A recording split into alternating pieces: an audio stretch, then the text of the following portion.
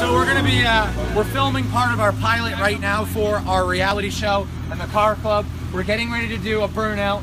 Uh, this is behind the scenes, but Damien's gonna do a burnout, and uh, this is gonna be part of our opening to the show.